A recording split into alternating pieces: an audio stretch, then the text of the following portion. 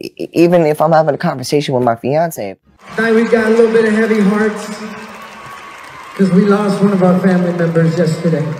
Nick Carter plans a fundraiser for children's mental health after his brother Aaron died too soon at the age of 34. Aaron's siblings, Nick and Angel Carter, are working to improve the mental health of children more than a week after Aaron's untimely death at the age of 34. Aaron used to be a child star, but his adult life has been spent dealing with schizophrenia, bipolar disorder, and manic depression. Instead of sending flowers, Aaron's family has asked that donations be made to On Our Sleeves, the movement for children's mental health. What were Carter's worst childhood traumas? What was the main motivation behind Aaron's uncontrollable lifestyle? Want more of the juiciest rumors about Aaron? For all types of celebrity news and pop culture, hit that subscribe button, like the video. For all types of celebrity news and pop culture, hit that subscribe button, like the video, and turn on notifications for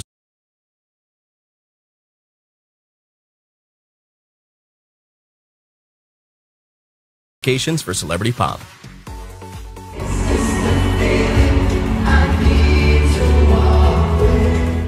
A representative for Nick Carter of the Backstreet Boys said, instead of sending flowers, fans who want to honor Aaron Carter's life can make a donation to On Our Sleeves through a donation page. Carter has been an ambassador for On Our Sleeves, the movement for children's mental health, and a supporter of the group for a long time. Our goal in making On Our Sleeves is to give all families and advocates in the United States the free, evidence-based educational materials they need to help get rid of the stigma surrounding children's mental health.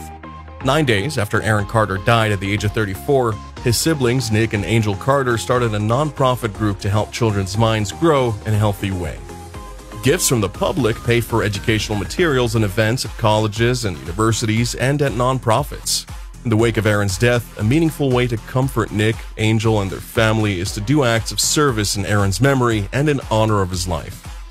Nick cried during a Backstreet Boys show in London because he'd just lost his younger brother. People said that Aaron's untimely death was caused by his girlfriend's tense relationship. Nick wrote on Instagram the day after Aaron's death, My heart has been broken today. My brother and I have had our fair share of fights over the years, but that has never changed how much I love him, no matter what. I had hoped for as long as I could remember that he would realize he was sick and get help. Nick's commentary went on as he talked about how he felt after Aaron's tragic death. He also talked about his younger brother's long fight with addiction Based on what he found in his reflections, when things are hard, it's easy to blame outside forces, but addiction and mental illness are the real threats here. No one but my brother and I will ever understand how much we'll miss each other. Like Britney Spears, Aaron has said that Nick is trying to put him under the care of a guardian. Nick has a court order to keep Aaron away from his pregnant wife and their unborn child because Aaron threatened them in 2019. We did what we thought was necessary to protect our loved ones, which included Nick and Angel getting a restraining order against their brother Aaron, which they now deeply regret. His brother also said that he hoped Aaron would get the right care he needs before he or anyone else gets hurt. Aaron's sister Angel Conrad also wrote an emotional post about him on Instagram. What she said was, The pain of loving you so much that there's no way out. Everyone here agrees that everyone will miss you very much. I'll never forget the good times I had with Aaron. Even so, I do think you've found some peace and quiet. Know that I shall carry you in my heart till my last breath, and then again when we meet again in the hereafter. Aaron had wanted to be in the entertainment business since he was young. He started out as a singer and then became an actor in movies and TV shows like Lizzie McGuire and Seventh Heaven. Aaron was supposedly found dead in his bathtub at the family's home in Lancaster, California on November 5th. At about 11 a.m., someone called 911 and said someone drowned in the tub. The caretaker of the house is said to have found the dead man's body and called the police right away. The people who looked into the murder didn't find any evidence of wrongdoing. Carter's first album, called Carter, came out in 1997 when he was only 9 years old. He went on tour with the Backstreet Boys. In the 1990s, three more of his albums came out. CNN reported that Aaron said on the 2019 episode of The Doctors that he had a number of mental health problems, including multiple personality disorder, schizophrenia, severe anxiety, and manic depression. The singer's first album was also put out by Nick's record company, Jive Records. After his second studio album did well in 2000, he made a music video for the song That's How I Beat Shaq in which he raps about his fight with NBA legend Shaquille O'Neal. Many of the songs on the album were played on the radio all the time, and in the end, it was certified triple platinum. Even though his 2001 album, Oh Aaron, which sold over a million copies in the US alone, was a success, the singer never became as famous as his brother's band. Since 2002, he hadn't put out a new studio album of his own music. Carter tried acting on a few Disney Channel shows, just like a lot of other teen pop stars. Along with his failing fame as a musician, he would eventually only have small parts in movies like Fat Albert and Ella Enchanted. There was a piece about him on E, along with his brother and his three siblings, again at the Carter's home in 2006. One thing I will always remember and take from this competition is definitely the lessons that I've learned, and I've grown so much. In 2009, Aaron got back into the spotlight when he finished sixth on the ninth season of Dancing with the Stars. In 2011, the once famous teenager was getting help at the Betty Ford Center in California for substance addiction. At the end of the year, he played his first role in a musical. Fox News says that in 2008, Aaron was pulled over in Texas for going too fast. During a check of his car by the police, they found marijuana. After being arrested for DUI in 2017, he was charged with dangerous driving in 2021.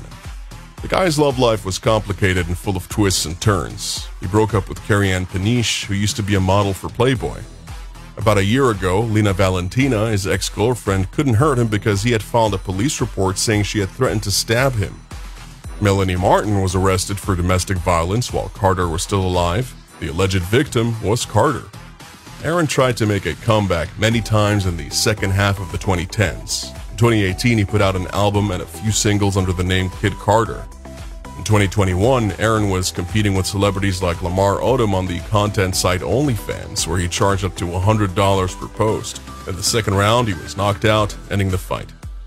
In the fall of that year, he refused to get the vaccine, so he wasn't chosen for the Las Vegas production of Naked Boys Singing. According to TMZ, he had a rough year with his family.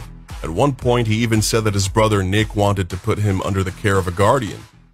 Melanie Martin, the woman he used to date, gave birth to Prince 11 months ago. Recent news said that Aaron died suddenly and sadly he didn't have a will. Martin and Aaron broke up a week after their first child was born. In memory of their late brother Aaron, Nick and Angel Carter will put on a show for the Children's Mental Health Association. Nick's agent said that TMZ readers could donate to a fund set up by Nick and Angel in Aaron's name instead of sending flowers. The money would go to a group that helps kids with mental health issues. From what we know, Nick has worked with and is an ambassador for On Our Sleeves, the movement for children's mental health, which will receive the money raised at this event. On Our Sleeves' goal is to give accurate data and information about children's mental health to parents, teachers, and policymakers across the country. The money will likely be used to pay for teaching materials and student field trips. Nick's team said that the goal of this memorial is to support Nick, Angel, and their families' dedication to helping others. Nick Carter was on tour with the Backstreet Boys when his brother Aaron died. He was glad to be home with his three children. That's why it's so important that your home makes you happy. Nick Carter was able to spend quality time with his family after the European leg of the Backstreet Boys tour was over. The I Want It That Way singer posted a picture of himself, his wife, and his three kids on Instagram on November 13th. Carter put on his baseball cap before going to bed at night, happy to know that his wife, Lauren Kitt, loved their three kids very much. When he was done, the Floridian gave Pearl a kiss on the head. Nick and his boy band played in London the day after Aaron's funeral, while Aaron's family, including his twin sister and OnlyFans founder Angel Carter, now 30, grieved back in the United States. Nick, Howie Dorough, Brian Littrell, and AJ McLean, and Kevin Richardson paid moving tributes to the late musicians during their sets. At the end of the show, Richardson, who's now 51 years old, was eager to play No Place again because the song is important to him personally and for his family. Some of us have known each other since we were very young, and we all went to the same elementary and high schools. When things were hard, we were there for each other. Since you were there and heard it from us, you can say you know from firsthand experience. We will always be grateful to you for letting us come along on this trip. The Backstreet Boys can't say enough about their gratitude for your support over 30 years. We're grateful that your love for us will never end. Will we know the truth about Aaron Carter's close family and friends? Did he live and spend his life in a toxic environment? Let us know what you think in the comments.